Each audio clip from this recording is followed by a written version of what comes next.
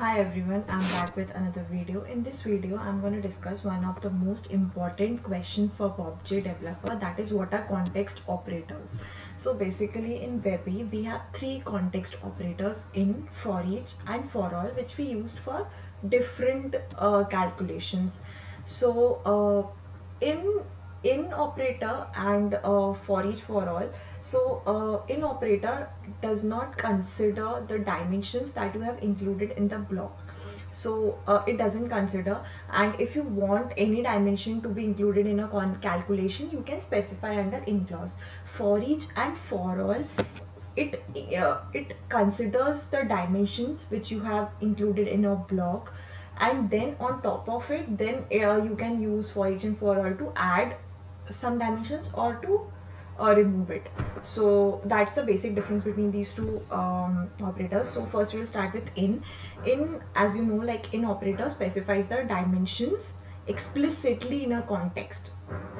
If you see this block year sales revenue and I can uh, create one uh, calculation for this and I can include any block like I can include any dimension I want uh, I can include year I can include quarter I can include week. So it doesn't matter uh, what you have included in the block.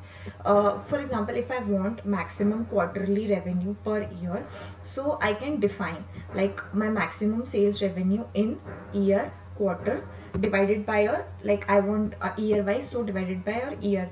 So it, as you can see I have defined in in clause year and quarter. So whatever you want uh, like I wanted quarterly sales revenue per year. So whatever you uh, want you can you have to specify under in clause.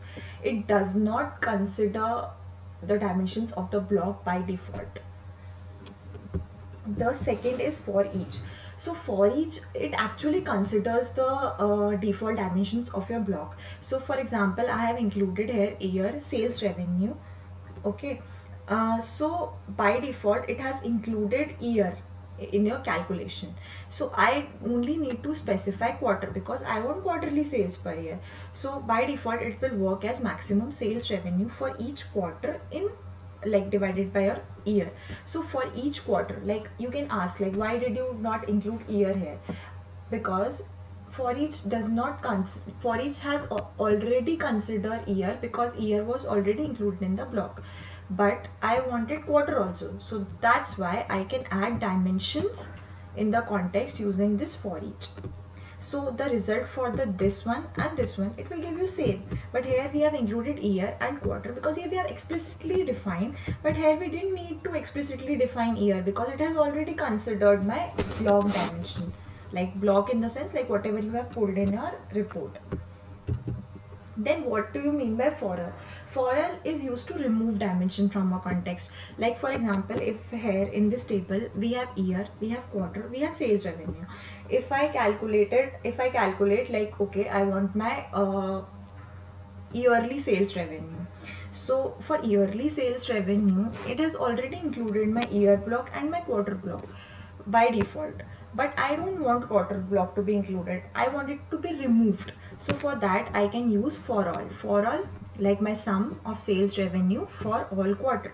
For all quarter in the sense it has removed year it has removed this quarter dimension from the block and it will only give yearly sales revenue.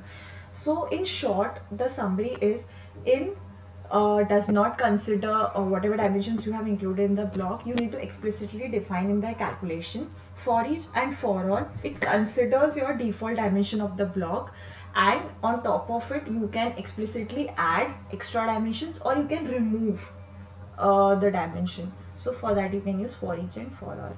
So i hope uh, like if you you can study these topics online also like there are many blogs many videos on top of it but please do prepare this topic before going for interviews.